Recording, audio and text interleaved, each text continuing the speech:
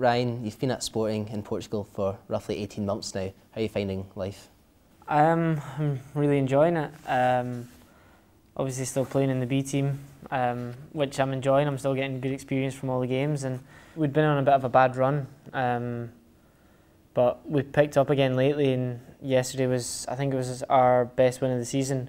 We won five 0 against bottom of the table, but you know, you take a five 0 win all the time with Andy Robertson cementing a place in the A squad and and more recently John McGinn from the under 21s. Is it encouraging to see that? Yeah, I'd say so because it's it's not just like Andy and uh, John. It's Callum Paterson's been there before. Lewis McLeod's been. Stevie May got called up. I was there myself. Um, so yeah, it's it's good to um, see that all the work that all the boys in this team's doing is is getting recognised and um, that Gordon Strachan's you know he's willing to give anyone a chance.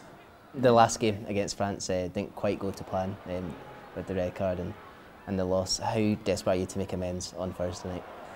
Yeah, I would I would say obviously personally um, I was really disappointed after what happened in the last France game, but uh, I would say it's more of thinking on a, a team level for this next game. Um, you know, it's a game that we kind of have to we have to take something from it because we're kind of struggling just now in the group. We're a little bit behind, so we need to start getting points. And uh, if I could help the team out with a goal or something, then obviously that would make a little bit of amends for what happened in the last game. So hopefully it could go something like that.